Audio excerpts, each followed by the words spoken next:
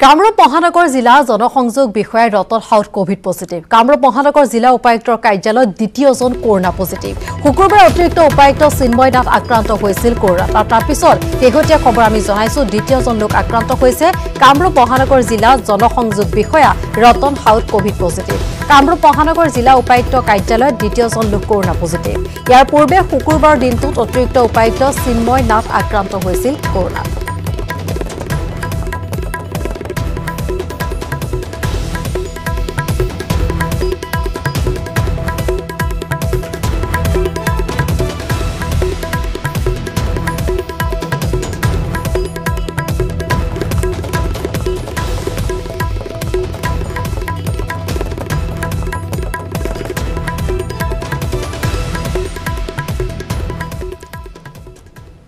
পৰৱৰ্তী খবৰ লকডাউনৰ সুযোগ গ্ৰহণ কৰি ৰাজ্যত একাংশ অসাধু ব্যৱসায় চলাইছে গৰু চোৰাং বেহা। গহপুৰৰ ৰাষ্ট্ৰীয় বজ্ৰং দলৰ অভিযানত জব্দ হৈছে সোতৰটাকৈ চোৰাং গৰু। বজ্ৰং দলৰ অভিযানত জব্দ হৈছে টাটা মোবাইল বাহনত চোৰাং গৰু। গোকামুখৰ পৰা নগাঁও অভিমুখে আহি থকা সময়ত বজ্ৰং দলে জব্দ কৰে বাহন দুখন। জব্দকৃত এখন বাহন গহপুৰৰ বৰিগাঁত আনখন পুৰুকবাৰীত গৰুসহ জব্দকৃত বাহন দুখন গহপুৰ আৰক্ষীক চমজাই দিয়ে ৰাষ্ট্ৰীয় বজ্ৰং দলে।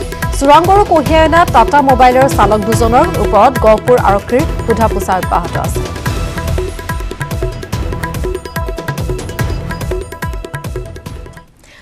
এইবাৰ খেতিপথাৰ সমাজ কল্যাণ মন্ত্ৰী তথা বি পি এফৰ নেত্ৰী প্ৰমীলাৰাণী ব্ৰহ্ম কোকৰাঝাৰৰ হালটু গাঁৱৰ পথাৰত ৰোৱনীৰূপে দেখা পোৱা গ'ল মন্ত্ৰীগৰাকীক। লগতে জাকৈ লৈ মৰাও উপভোগ কৰিলে মন্ত্ৰীগৰাকীক। অসমৰ ৰাইজক কৃষিকৰ্মত নিয়োজিত হ'বলৈ আহ্বান জনালে প্ৰমীলাৰাণী ব্ৰহ্মই আৰু দৃশ্য আমি দেখুৱাইছো প্ৰমীলাৰাণী ব্ৰহ্মক দেখা পোৱা গৈছে অন্য এক ৰূপত। খেতিপথাৰত নামিল এইবাৰ সমাজ কল্যাণ মন্ত্ৰী তথা বি পি এফৰ নেত্ৰী প্ৰমীলাৰাণী ব্ৰহ্ম। কোকৰাঝাৰৰ হালটুগাঁৱৰ পথাৰত এনেদৰে ৰোৱনী ৰূপত দেখা পোৱা গ'ল মন্ত্ৰীগৰাকীক ভাল লাগিছে। ৰোৱনী ৰূপত অৱতীৰ্ণ হৈ অসমৰ ৰাইজক কৃষিকৰ্মত নিয়োজিত হ'বলৈ তেওঁ আহ্বান জনায়। মই এনেকৈ কৰি কৰি পঢ়া শুনাও কৰিছোঁ কলেজতো পঢ়িছোঁ। কিন্তু বিয়াৰ পিছত মই পোৱা নাই কাৰণ টাউনতহে বিয়া হ'ল। সেইকাৰণে এই কালচাৰৰ পৰা মই বহুত দূৰত থাকিব লগাত পৰিছোঁ। তথাপিও মন যায় যে খেতিপথাৰত নামি নামি পেলাই ভূই ৰোওঁ। নৱপ্ৰজন্মৰ যুৱক যুৱতীসকলে মানে এতিয়া এই কালচাৰটো তেওঁলোকৰ নহয় বুলি ভাবে। কিন্তু এইটো বহুত বেয়া হৈছে বেয়া হৈছে। যে আমাৰ ল'ৰা ছোৱালীবিলাকে মানে এইটো কালচাৰ বা এইখিনি জ্ঞান জ্ঞান তেওঁলোকৰ থাকিব লাগে। প্ৰাৰম্ভিক যিখিনি জ্ঞান কেনেকৈ ধান হয় ধানটো কেনেকৈ মানে হয় আগতে কঠীয়া পাৰিব লাগে পৰাৰ পিছত কিমান দিনৰ পিছত কঠীয়া তুলিব লাগে কঠীয়া তোলাৰ পিছত ৰুব লাগে ৰোৱাৰ পিছত ধান হয় আৰু ধানটো মানে কেনেকৈ কাটি পেলাই মৰণা মাৰে এইবিলাকত মানে তেওঁলোকে আহি পেলাই ট্ৰেইনিং লোৱাৰ দৰে তেওঁলোকে এই কালচাৰটো আঁকোৱালি ল'ব লাগে। এইটো বেয়া কালচাৰ নহয় বেয়া সংস্কৃতি নহয়। এই সংস্কৃতিটো বহুত পবিত্ৰ সংস্কৃতি হয় ইয়াক মই আমি আগলৈ লৈ যাব লাগিব। কলিয়াবৰৰ হাৰমতিৰ ফিচাৰীত উপঙি থকা অৱস্থাত উদ্ধাৰ এটা মৃতদেহ। শনিবাৰে পুৱা স্থানীয় লোকে প্ৰত্যক্ষ কৰে মৃতদেহটো। মৃতদেহটো বাগৰি আৰক্ষী চকীৰ অন্তৰ্গত হাৰমতিৰ তেইছ বছৰীয়া আবু ছিদ্দিক আলীৰ বুলি চিনাক্ত কৰিছে স্থানীয় লোকে। দুই জুলাই নিশাৰ পৰা সন্ধানহীন হৈ আছিল যুৱকজন। স্থানীয় ৰাইজে জনোৱা মতে দুই জুলাই নিশা আবু ছিদ্দিকসহ কেইজনমান যুৱক হাৰমতিৰ তিনিআলিত বহি হাৰমতিৰ তিনিআলিত বহি থকা অৱস্থাত কাৰ্বি আংলং জিলাৰ ৰংমঙৈ আৰক্ষীৰ এটা দলে চোৰৰ বিৰুদ্ধে অভিযান চলাই ৰাষ্ট্ৰীয় ঘাইপথে পাৰ হৈ যাওঁতে যুৱক কেইজনক প্ৰত্যক্ষ কৰে। আৰক্ষীৰ দলটোৱে যুৱক কেইজনৰ ফালে টৰ্চ লাইটৰ পোহৰ নিক্ষেপ কৰাত ফৰিং চিটিকা দিয়ে। কোনো কোনোৱে ফিচাৰীটোত জাপ দি পলাবৰ চেষ্টা কৰে। আবু ছিদ্দিকেও ফিচাৰী জাপ দিছিল যদিও সাঁতুৰিব নজনাৰ বাবে এই শোকাবহ ঘটনা সংঘটিত হয় বুলি স্থানীয় লোকে মন্তব্য কৰিছে।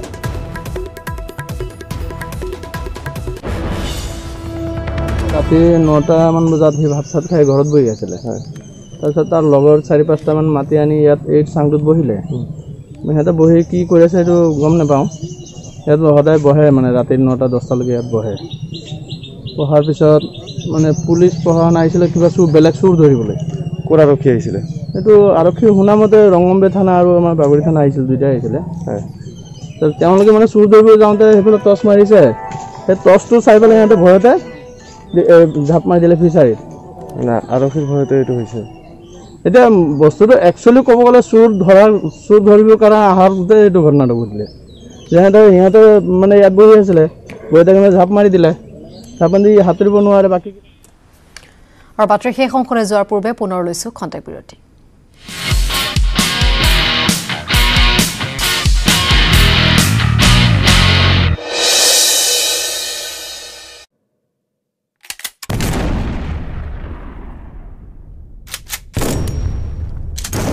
In six states, 1200 plus reporters, 66.9 crore viewers. India's largest news network, News 18 Network.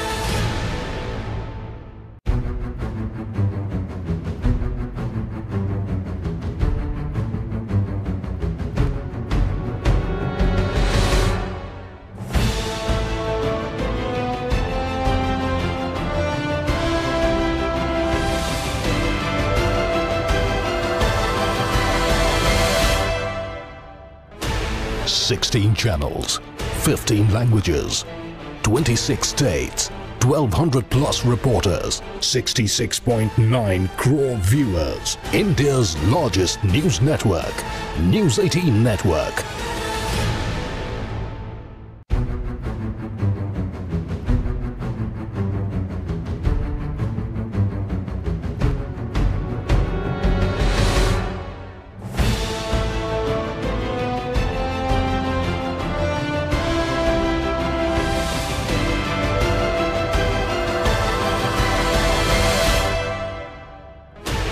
Sixteen channels, fifteen languages, twenty-six states, twelve hundred plus reporters, sixty-six point nine crore viewers. India's largest news network, News 18 Network.